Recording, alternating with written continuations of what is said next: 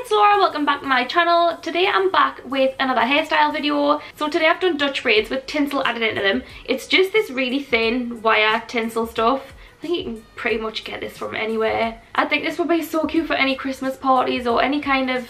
Basically you could wear it for anything anything that you feel the need to have tinsel in your hair for. Yeah, so if you'd like to see how I got on with this hairstyle, then just keep watching.